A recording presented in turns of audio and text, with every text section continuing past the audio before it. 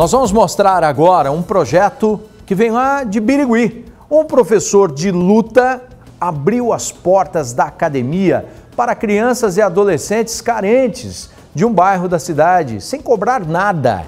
E nesses anos todos, tem descoberto muitos talentos. Era só preciso um incentivo, não é verdade? A oportunidade. Veja só. Um projeto que começou da força de vontade e com muito esforço. O Patrick tem apenas 24 anos e mantém essa academia no bairro Portal da Pérola 2 em Birigui. Aqui, ele oferece a crianças e adolescentes aulas de jiu-jitsu e muay thai. Muitas delas sem condições financeiras de pagar. Mesmo assim, o professor não deixou que os sonhos morressem. O projeto do Patrick começou quando muitas crianças ficavam na porta da academia em busca de aula de jiu-jitsu. Foi então que ele decidiu dar a oportunidade para esses jovens talentos. No começo foi bem diferente, né? Pelo fato da população não ter nada gerado para esporte de contato, quando eu abri de imediato foi uma coisa que espantou todo mundo, né? Então, eu precisava de alunos pagantes para poder manter a minha academia, manter a minha casa. Hoje eu vivo só disso, né? Mas porém tinha muita criança que ficava na porta da academia, querendo assistir uma coisa diferente, sonhando, né? Pessoas construindo, a criança construindo o sonho dela. E aquilo mexeu muito comigo, pelo fato de eu não ter tido oportunidade quando eu era pequeno. Pensei, eu sentei, conversei com a minha mãe, minha mãe, graças a Deus, me apoia muito no que eu faço, questão de ajudar as crianças. Ela falou, vamos fazer uma coisa diferente, vamos fazer um projeto, vamos levantar essas crianças, vamos colocar essas crianças lá em cima. Foi aonde surgiu o projeto Portal da Luta, no Portal da Pérola, onde não é pago, não tem sexo, não precisa de, de cor, não precisa de peso, é você chegar, treinar e fazer parte da família. Crianças e adolescentes que muitas vezes estavam na rua, sem perspectivas, tiveram uma reviravolta na vida depois de começar a praticar luta e hoje já se preparam para disputar competições nacionais e até internacionais. Graças a Deus a gente está com a agenda cheia, Estamos com um GP, o meu atleta Formiga vai estar disputando um GP é, amador de disputa de cinturão.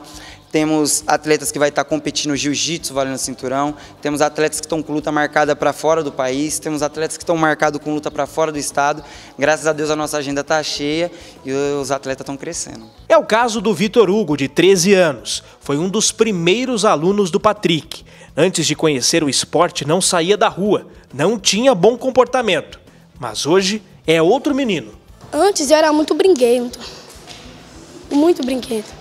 Aí eu entrei na academia, eu ensinei o que, é respeito, disciplina. Aí eu falei, é isso, vou seguir isso pra minha vida. Agora eu tô na escola, sou presidente de aula, ajudo a professora, sou presidente de clube e, tipo assim, sou muito incentivador para as crianças. Eu chamo as crianças para vir, as crianças gostam. Falo, bora lá, o bagulho é da hora. Academia é show de bola. Além de já ter até cinturão, o Vitor Hugo quer fazer da luta a sua profissão e dar uma vida melhor para a família. Por isso, já se prepara para lutar até no exterior. Quero ser o maior campeão do UFC. Chegar lá no, no UFC para dar uns talentos para minha família. E muito incentivo às crianças também. As, as minhas lutas, dia 27 agora, agosto, dia 27, tem uma luta de jiu-jitsu e uma de muay thai. E batalha bastante para trazer. Fim do ano, Bolívia, estou indo lá, vendendo rifle, mas vai. Um dia eu chego lá.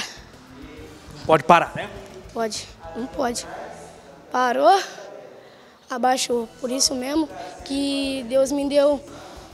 Deus botou na minha cabeça que academia é a única coisa que tem na minha vida. Então nunca posso largar. A mãe dele tem muito orgulho do filho e percebe todas as mudanças de quatro anos para cá. Mesmo sem condições para pagar a mensalidade da academia, ela acreditou no projeto do Patrick. Eu vi ele crescer, cada aluno, cada gente chegando, tirando os menores da rua, porque aqui na, no nosso bairro um pouco é carente de escola, essas coisas, um, um, um recurso para cá, aí ele, ele fez isso, né? Tirou as crianças, tanto é ele treina dos pequenos até os maiores, tem muita os grandes treina também, então ele tira a maioria do mundo é, para não fazer nada de errado. Aqui na academia ele faz isso. faz bastante diferença. Mas não é uma tarefa fácil. O Patrick mantém a academia muitas vezes com doações, já que não tem apoio do poder público para manter o projeto. Por isso, sempre está em busca de parcerias e patrocínios. Desistir não está nos planos dele. Muitas pessoas me perguntam se eu tenho filho. Você tem filho? Eu tenho, 60. 60 pessoas que estão ali do meu lado, estão me apanhando. Na hora que eu preciso chorar, eles estão. Na hora que eu preciso sorrir, eles estão também. E creio que estão mudando a vida de muitas pessoas. Pessoas que só focavam em ficar na rua, focavam em ficar soltando pipa. E aqui na nossa população, no nosso bairro, é um bairro um pouco complicado, pelo fato de ser uma periferia, uma periferia né? então a gente abraçou a causa para poder estar tá mudando a vida das pessoas, para que eles possam ser usados para mudar de outras também. Né? E assim a gente vai continuando com a ação. Aqui é uma verdadeira família. No fim de mais um treino, teve até surpresa para o Vitor Hugo, que está fazendo aniversário. Todos juntos, com o objetivo de levar o esporte para o resto da vida.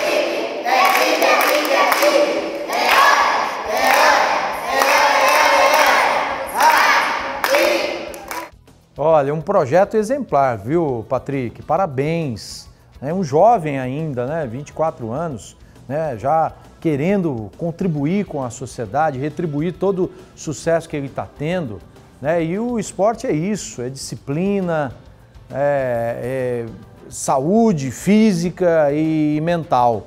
É muito importante isso que você está fazendo. É uma, é uma sementinha que você está plantando no futuro né, dessas crianças e adolescentes. E o Vitor Hugo, poxa vida, Vitor Hugo, quero te ver lá no UFC, não é verdade? Brilhando, né? É, fazendo o que gosta. Você vê um exemplo antes de mau comportamento, agora está sendo um exemplo né, de bom comportamento e de perseverança e disciplina. Né, um menino que eh, se encontrou. Né? Então, parabéns aí, esse projeto é sensacional e tem que ter apoio. Né? Pena que o poder público não, não contribui, né? Tinha que contribuir, porque isso daí era um dever do poder público, né? Né? Mas a iniciativa privada também tem que né, contribuir, apoiar.